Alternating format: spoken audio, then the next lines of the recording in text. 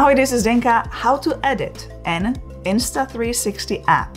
Let's go through all editing options, explain all icons and tools. This is in-depth tutorial. Timestamps are enabled so you can find the sections you need more easily. I have many clips here from the Caribbean that I filmed with Insta360 X5. Let me open one of them. To make things simple, I will only mention three tools on this default page. At the top is the aspect ratio, so you can select vertical or horizontal video. For those who prefer Dolby Vision, you can enable it on the left with this icon. Below Dolby Vision is another important icon, and that is de-warp. When you enable that, it will remove the distortion. The reason I'm not explaining the rest of the tools on this default page is that some of them will actually take you to editor that is one of the three editing modes here at the bottom. First one is quick, which is simple. Editor is next, where you have full control over everything. And the last one is AI edit. That is done pretty much automatically to get the base, but then you can still change everything on your own. Let's start with quick editing mode. Before I hit quick edit, I will select 16 by 9 aspect ratio as I want the video to be horizontal and I will also enable de-warp. Let's hit quick. Here you can record a single clip from the footage. By default, it is set to manual, which means that all you have to do is move the smartphone around to select the framing.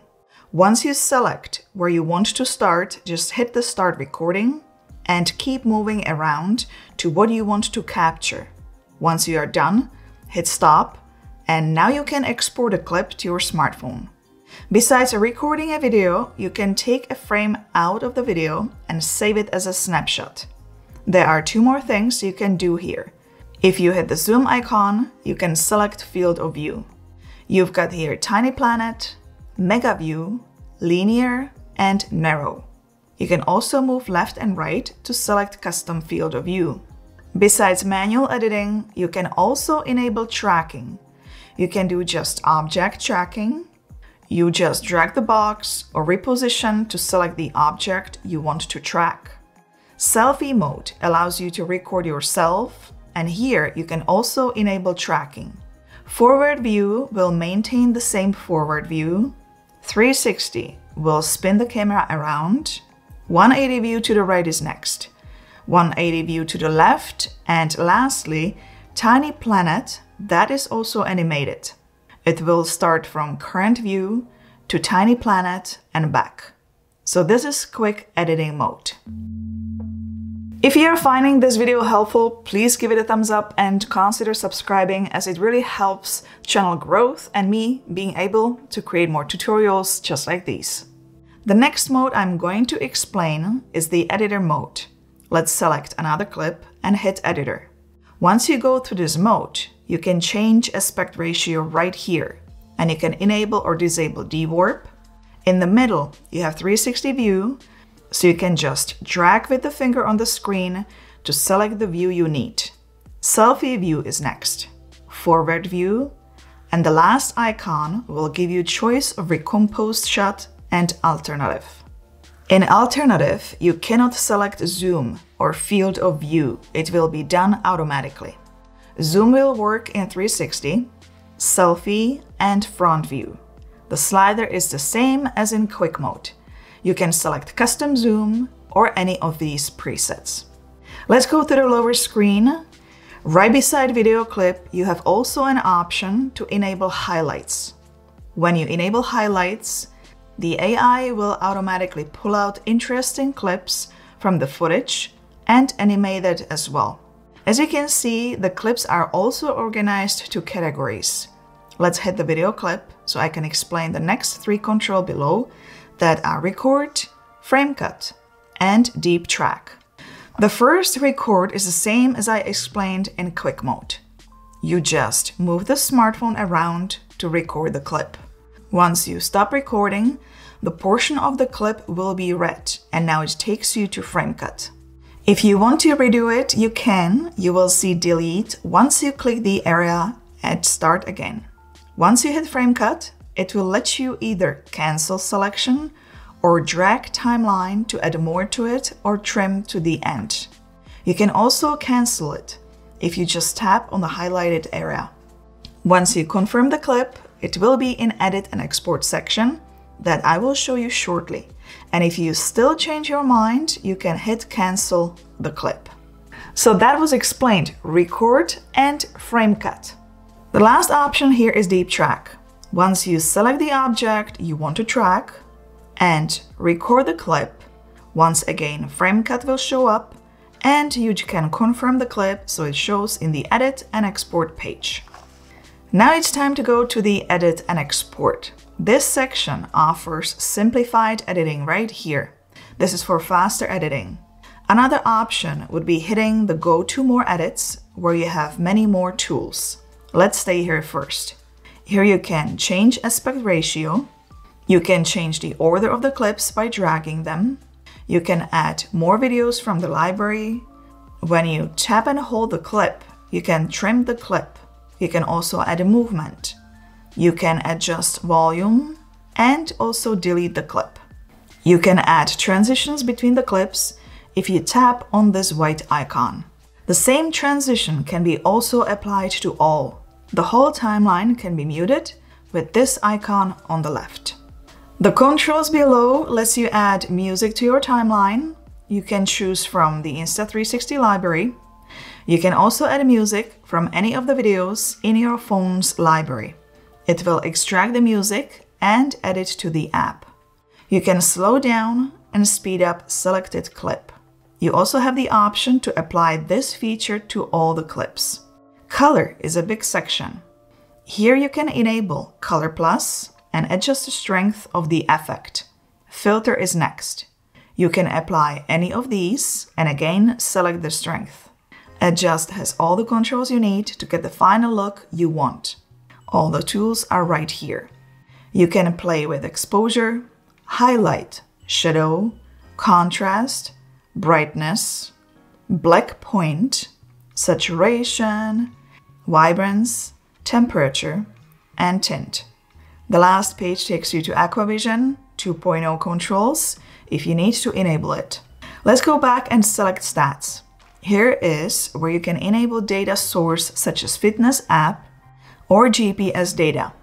Snapshot lets you select any of the frames from the video and save it as a photo. Here you can also save live snapshot and 360 photo. Once you are done editing, you can export your video right here. Let's go to complex editing timeline with more tools. Let's hit go to more edits. You can mute the timeline. You can add more clips and add music. Let's go through the icons at the bottom. Most of the tools I already explained throughout this video as they are the same, so I'm going to point out the tools that are specifically here. Let's hit 360 reframe there are two tools I'm going to point out. Keyframes are first. What are keyframes for? I'm going to drag to select the starting point of view and hit keyframe. Now I see it on a timeline. I can still do lots more here. I can zoom in or out. I can also adjust horizontal level. I'm going to drag the timeline a bit further and add another keyframe and let's just adjust the zoom. Now when I play between those two keyframes, I see the zoom effect I created. You can also reframe the shot, make a movement in any direction. You can do pretty much anything with keyframes. The second tool that I want to mention is multi-view. Once you hit that, you can add picture-in-picture. -picture. The main frame has forward view and selfie view is here. The next one is dual screen, where it is divided in half and the last one is car multi-view. Let's go to the next edit tool. Here are several tools to mention. Under speed tool, you can speed up or slow down the entire clip, or you can create a speed ramp effect by choosing only part or segment of the clip. Let's hit the segment. If you hit plus, you can highlight the portion of the clip that you can speed up or slow down. Motion ND lets you add motion blur without the need of using ND filters. Once you enable that, you can control spread and intensity with those sliders right here. Phase filter is here for those who like to use that feature. Another important feature when it comes to privacy is ability to blur out license plate. The tool is simply called Plate Blur. Copy will simply copy the selected clip and if you hit replace on selected clip, you can use it exactly as it says, replacing the clip with one of the clips in your album. Let's go back and hit text stickers. Besides adding text and stickers, you can explore template section in the middle that has already pre-designed animated styles. It is worth checking out. There are lots of there. Let's go back and explore effects. Don't miss those as they can also visually enhance your videos. Let's leave all this complex editing and go to a very basic page to explain the last editing mode, that is AI Edit. This is the easiest editing as this app will analyze the clip for you and pick what views look the best. It will automatically select one of the templates and edit it together with music.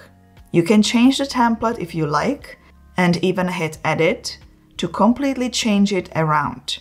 You will get access to all editing tools I explained throughout the video. Let's talk about exporting video. You can export to your phone regular video or save 360 degrees video. By default, the video is being saved in 1080p resolution and 30 frames per second frame rate. You can change all these parameters based on the platform you will be posting the video on, and you can also choose your own custom parameters. If you want to disable watermark, the setting is right here. So this was a basic editing walkthrough in the Insta360 app. Give it a thumbs up if you found this helpful. Don't forget to subscribe for more, and I will see you in one of those videos next. Ciao, ahoy!